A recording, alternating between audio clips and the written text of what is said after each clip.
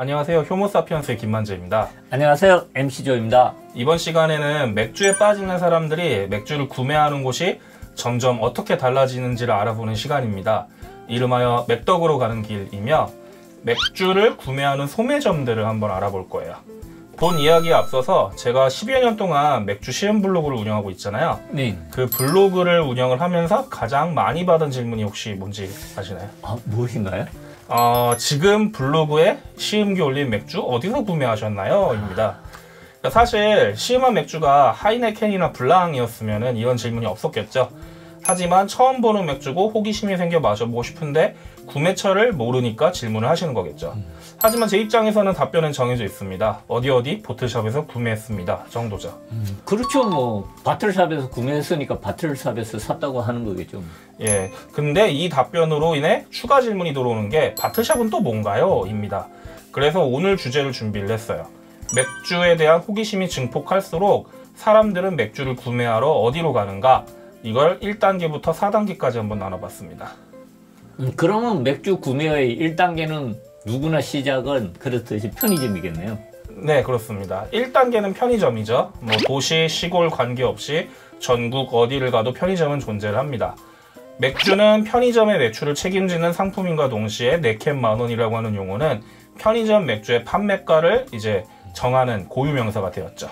뭐 대다수의 국민들이 접근성이 좋게 이용하는 편의점에서 맥주 가격이 2,000원에서 2,500원 이하로 형성돼야 하니까 아무래도 판매되는 맥주들은 지극히 대중적인 제품들로 구성되겠네요. 네, 맞습니다. 뭐 카스와 테라, 클라우드 같은 국산 대기업 라거들을 비롯해서 하이네켄, 밀러, 칭타오 등의 유명 대기업 라거 그리고 호가든이나 블랑, 파울라노 같은 유명 수입 밀맥주들이 주류를 이룹니다. 그리고 뭐 더불어서 국내 소규모 양조장법과 뭐 주세법 개정으로 인해 가지고 최근 2년 사이에 국내 수제 맥주들도 들어가기 시작했더라고요. 네, 그 덕에 가벼운 페일라거 위주였던 편의점 라인업에 페일에일이나 IPA 등의 맥주들이 가세하면서 맥주 스타일에 있어서 조금 더 선택의 폭이 넓어진 건 매우 긍정적인 일입니다.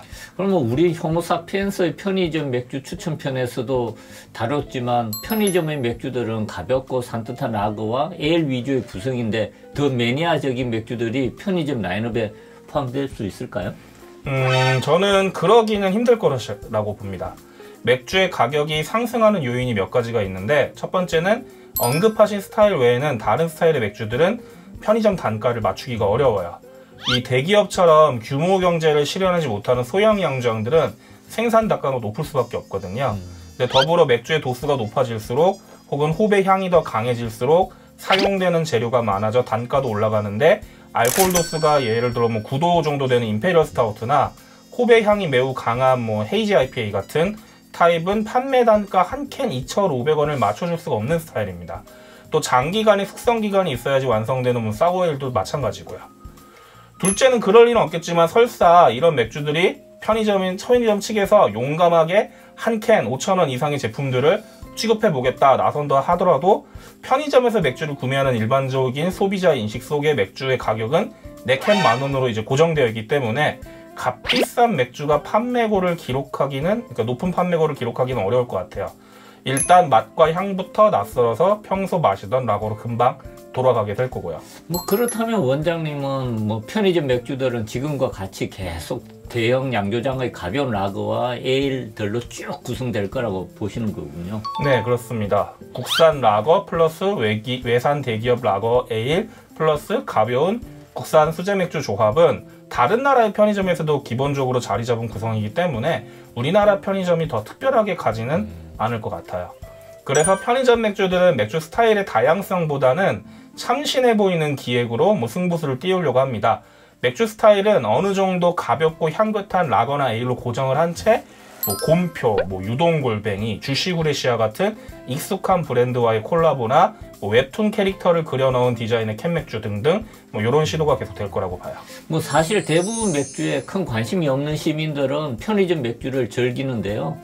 오늘 주제인 맥덕으로 가는 길에 있어서는 편의점 라인업은 한계가 분명히 있겠군요. 네, 맞습니다. 비유적으로 표현을 하자면 편의점 맥주 라인업은 김밥 천국의 메뉴와 비슷하게 보시면 좋을 것 음. 같아요. 저렴하고 간편하게 한 끼 식사를 할 수 있는 식당이 김밥 천국이기에 메뉴당 만 원이 넘지 않는 맛있고 대중적인 메뉴들로 구성이 돼 있죠. 다만 음식 특성상 김밥 천국 메뉴에 들어가기 힘든 것들도 있잖아요. 뭐 예를 들면 평양냉면이라던가 홍탁 삼합이라던가 한우 생갈비 등은 어렵겠죠. 그렇죠. 뭐 그 메뉴들은 전문점에 가야지 제대로 먹을 수 있는 거니까요. 네, 김밥 천국의 메- 맛있는 메뉴가 참 많아요.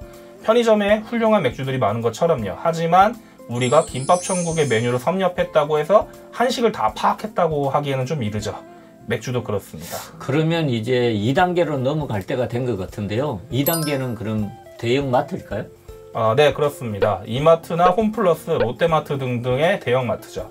사실 현재 대형마트의 맥주 라인업은 편의점 맥주 라인업의 연장성산에 있는 정도라고 봅니다. 특히 지점이 규- 지점 규모가 크지 않은 대형마트의 맥주 코너는 편의점의 라인업과 크게 다르지 않습니다. 뭐 국산 라거, 외산 대기업 라거 에일, 가벼운 수제 맥주 이렇게 네캔만원 조합이죠. 하지만 뭐 이후 3, 4단계 소개할 맥주 전문 보틀샵들이 국내 본격적으로 생기기 전에는 독특한 병이나 뭐 캔 맥주들을 구할 수 있는 곳이 대형 마트가 유일하지 않았었나요? 네, 맞습니다. 특히 한 5, 6년 전쯤에 수입 수제 맥주들이 국내에 막 밀려 들어올 때는 전문 보틀샵 못지않은 라인업을 갖추기도 했었죠. 한 병에 5,000원 이상의 에일 맥주들부터 만 원에 가까운 벨기에 트라피스트 수도원 맥주들도 구비했었고요. 마트라는 공간이 편의점보다는 소비자의 씀씀이가 커지는 곳이다 보니까 단가 높은 맥주들도 어느 정도 팔리긴 할- 했겠군요. 네. 그리고 몇 년 전부터 쿠팡과 같은 온라인 쇼핑 업체가 성장을 하면서 대형마트에 방문하는 손님들이 줄게 되었는데 온라인에서 주문 거래가 불가능한 맥주 코너를 강화하면서 방문객들을 유치해 보려는 노력도 있었습니다. 때마침 수입 수제 맥주들이 물밀듯이 들어오던 때였기도 하고요. 그때가 그런 현상에 대한 대표적인 예로 2017년에 웹드라마 형태로 공개된 이마트의 수입 맥주 광고가 있습니다. 수입 맥주 처음 본 게 있어서 대신 하나씩만 사와.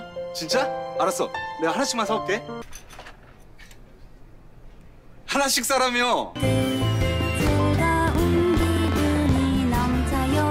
400여 종이면 이마트가 정말 많이 취급했었군요. 네, 이마트 모든 지점이 그랬던 건 아니고 뭐 이마트에서도 규모가 큰 매장들이 그랬습니다. 뭐 예를 들어 서울에서는 본사가 있는 성수점, 왕십리점, 용산점, 가든파이브점, 뭐 스타필드의 PK마켓, 하남고양 등등이고 중형 규모의 이마트 매장에서도 한 7, 8천 원 하는 수제 맥주들이 알차게 구비되었던 시절도 있었죠. 어, 저 당시가 불과 3, 4년 전인 한 2017년, 18년쯤이고 어, 제가 당시에 맥주 학원을 한창 운영할 때였는데 당시 학원에서 가까운 이마트 성수점만 가더라도 어지간한 주제의 수제 맥주 강의에 필요한 맥주들은 다 구할 수가 있을 정도였어요. 심지어는 전문 보틀숍에서 팔만한 한 병에 2, 3만 원, 비싼 건 6만 원까지 하는 맥주들도 갖추었으니까요. 뭐 파운더스의 KBS나 미국의 캐스케이드 와일드 에일이나 뭐 3분수 람빅 등등도 팔았었죠. 3분수 람빅에 캐스케이드 와일드 에일까지 정말 대단한 라인업이었군요. 당시 이마트 말고 롯데마트나 홈플러스도 이런 라인업이 있었나요? 음, 아니요. 이마트 수준까지는 아니었지만 그래도 한 병 4,000원에서 7,000원 정도의 좀 이렇게 범용성이 있는 수제 맥주들을 갖춘 편이었습니다. 하지만 머지않아 대형마트들은 자신들이 맥주 매니아 시장을 과대평가했다는 사실을 알게 됩니다. 사실 우리나라의 대부분의 맥주 매니아들은 편의점 맥주 매니아들이었거든요. 그래서 어, 미국의 뭐 홀푸드와 같은 대형마트는 고차원의 수제 맥주를 많이 들여놓기는 합니다만 미국은 수제 맥주 문화가 한 40년 동안 지속된 곳이라 이와 같은 맥주를 소비하는 소비층이 어느 정도 형성이 된 반면에 우리나라는 이제 막 시작이니 좀 너무 빨랐던 거죠. 그리고 소비자도 처음 보고 심지어는 판매자도 처음 보는 값비싼 맥주를 판매했는데 불친절했죠. 불친절했다는 것은 어떤 의미죠? 음, 당시 대형마트에서 판매되던 맥주들이에요. 판매가가 한 7,000원에서